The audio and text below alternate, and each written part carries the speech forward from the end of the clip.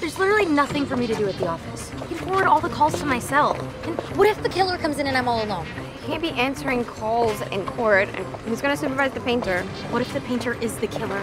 Working on a murder trial is making you paranoid. Oh.